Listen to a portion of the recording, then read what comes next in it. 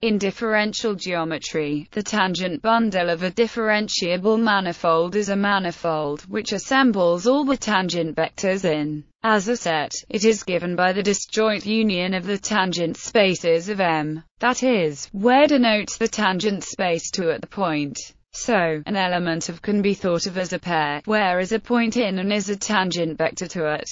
There is a natural projection defined by this projection maps each tangent space to the single point. The tangent bundle comes equipped with a natural topology. With this topology, the tangent bundle to a manifold is the prototypical example of a vector bundle. A section of is a vector field on, and the dual bundle to is the cotangent bundle, which is the disjoint union of the cotangent spaces if. By definition, a manifold is parallelizable if and only if the tangent bundle is trivial. By definition, a manifold M is framed if and only if the tangent bundle trademark is stably trivial, meaning that for some trivial bundle E the Whitney sum trademark E is trivial. For example, the n-dimensional sphere Sn is framed for all n, but parallelizable only for n equals 1, 3, 7. Role One of the main roles of the tangent bundle is to provide a domain and range for the derivative of a smooth function. Namely, if f, mn is a smooth function, with m and n smooth manifolds, its derivative is a smooth function df. Trademark Tn. Topology and smooth structure.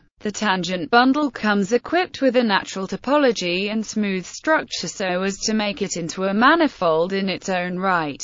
The dimension of trademark is twice the dimension of M. Each tangent space of an n-dimensional manifold is an n-dimensional vector space.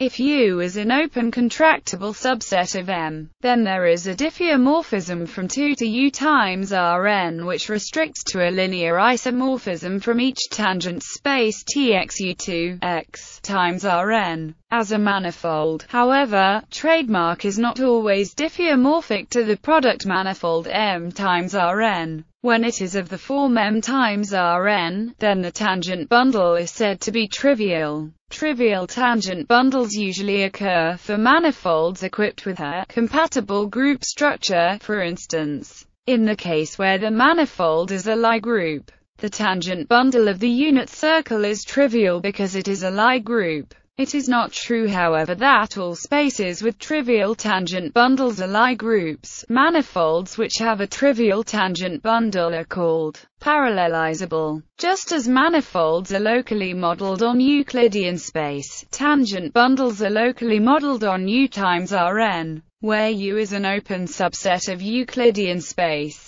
If M is a smooth n-dimensional manifold, then it comes equipped with an atlas of charts where U alpha is an open set in M and is a diffeomorphism. These local coordinates on U give rise to an isomorphism between Txm and Rn for each xu. We may then define a map by we use these maps to define the topology and smooth structure on trademark. A subset A of trademark is open if and only if is open in R2n for each alpha. These maps are then homeomorphisms between open subsets of trademark and R2n and therefore serve as charts for the smooth structure on trademark. The transition functions on chart overlaps are induced by the Jacobian matrices of the associated coordinate transformation and are therefore smooth maps between open subsets of R2n. The tangent bundle is an example of a more general construction called a vector bundle. Explicitly, the tangent bundle to an n-dimensional manifold M may be defined as a rank n vector bundle over M whose transition functions are given by the Jacobian of the associated coordinate transformations. Examples the simplest example is that of Rn. In this case the tangent bundle is trivial. Another simple example is the unit circle, S1. The tangent bundle of the circle is also trivial and isomorphic to S1 times R. Geometrically, this is a cylinder of infinite height. The only tangent bundles that can be readily visualized are those of the real line R and the unit circle S1, both of which are trivial. For two-dimensional manifolds the tangent bundle is four-dimensional and hence difficult to visualize. A simple example of a non-trivial tangent bundle is that of the unit sphere S2.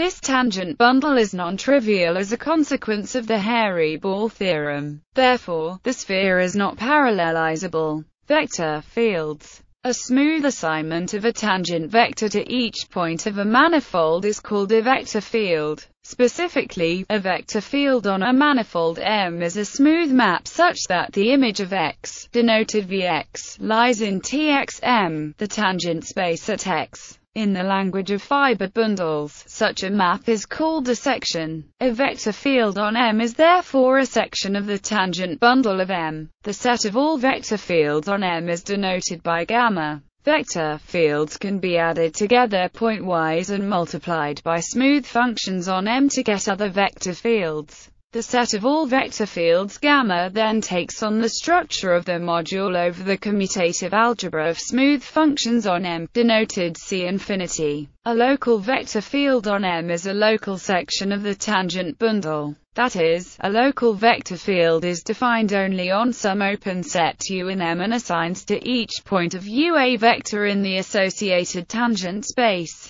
The set of local vector fields on M forms a structure known as a sheaf of real vector spaces on M. Higher-order tangent bundles. Since the tangent bundle trademark is itself a smooth manifold, the second-order tangent bundle can be defined via repeated application of the tangent bundle construction. In general, the kth-order tangent bundle can be defined recursively as a smooth map F Mn has an induced derivative, for which the tangent bundle is the appropriate domain and range df, trademark Tn. Similarly, higher-order tangent bundles provide the domain and range for higher-order derivatives. A distinct but related construction are the jet bundles on a manifold, which are bundles consisting of jets. Canonical vector field on tangent bundle. On every tangent bundle trademark, considered as a manifold itself, one can define a canonical vector field V, trademark TTM as the diagonal map on the tangent space at each point. This is possible because the tangent space of a vector space W is naturally a product, since the vector space itself is flat and thus has a natural diagonal map given by under this product structure. Applying this product structure to the tangent space at each point and globalizing yields the canonical vector field. Informally, although the manifold M is curved, each tangent space at a point M is flat. So the tangent bundle manifold trademark is locally a product of a curved M and a flat thus the tangent bundle of the tangent bundle is locally